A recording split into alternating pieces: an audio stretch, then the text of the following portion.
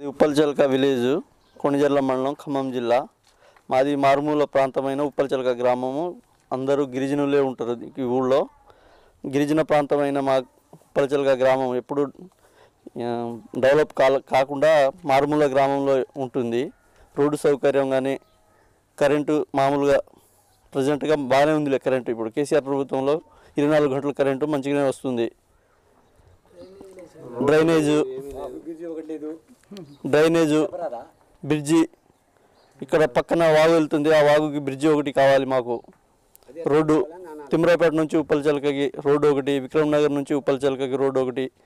ఈ రోడ్లు డెవలప్ అయితే ఇంకా గ్రామం గ్రామం లింక్ రోడ్లు అయితే గ్రామం ఇంకా డెవలప్ అవుతుందని మేము కోరుకుంటున్నాము ఇక్కడ ల్యాండ్ సమస్య కూడా ఉంది. యాభై ఒకటి సర్వే నెంబరు పోడు భూములు. అవి పట్టాలు ఇంకా రాలేదు.